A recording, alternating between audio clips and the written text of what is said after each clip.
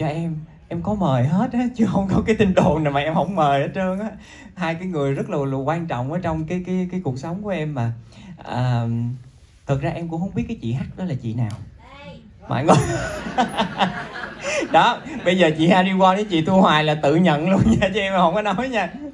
Và em cũng không biết tự nhiên có cái tin đồn đó trong khi hai trăm mấy chục cái thiệp mời là em em tự viết tay hết để mà em mời mọi người. Thì không có cái chuyện là có một cái chị hát gửi thiệp nào mà đồn đoán như vậy hết trơn á. Thì uh, trúc nhân cũng có chia sẻ trong cái comment của nhân ở trên ở trong cái post đó là chị thu minh tập bên nhạc ngày mai chị thu minh có một cái show the comeback á anh biết không?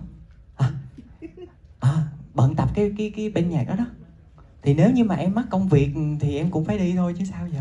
Bây giờ nguyên một cái bên nhạc mười mấy người người ta chờ để người ta đánh cho mình hát. Với lại ngày mai show diễn ra rồi thì nếu là em thì em cũng xin khất họp báo thôi chứ biết làm sao. Còn cái chuyện mà anh hỏi anh anh chưa bao giờ thấy chị thu minh uh, anh anh chưa thấy chị thu minh share hay là có một cái động thái gì về mv này á thì mấy em đi trước cũng y chang vậy chừng nào mà ra mv chính thức đi thì chị share cái link. Còn ừ, thiệp mời rồi teaser này kia thì thường thì em thấy chị minh chỉ không có xem mấy mấy cái đó. Chị minh là em thấy nụ cười tôi đẹp không?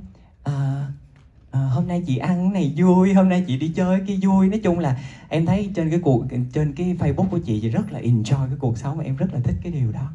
Thôi thì cứ để vậy thôi. Dạ. yeah.